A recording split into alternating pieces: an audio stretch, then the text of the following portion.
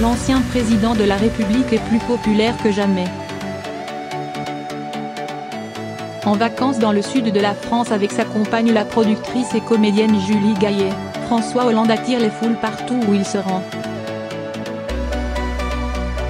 Accusé de se faire remarquer pour narguer Emmanuel Macron, terré non loin de là au fort Brégançon, l'ancien président de la République signe juste des copies et des copies de son livre Les leçons du pouvoir, témoignage de ses années à l'Élysée.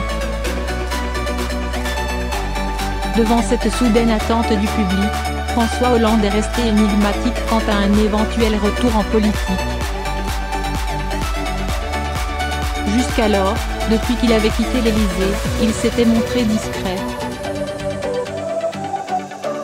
Le journal Le Figaro révèle qu'en tout cas, François Hollande ne boude pas son plaisir, la politique ne décroche pas, la vie est là toujours. L'actualité est là. Moi je suis parmi ces personnes qui viennent ici en vacances, comme moi, et qui veulent venir à ma rencontre selon l'envoyé spécial du journal, quand la mère du village lui demande si son séjour l'a satisfait, il dit regretter la fin des vacances mais glisse avec malice il y a toujours une suite quand la mère le relance il y aura peut-être une suite.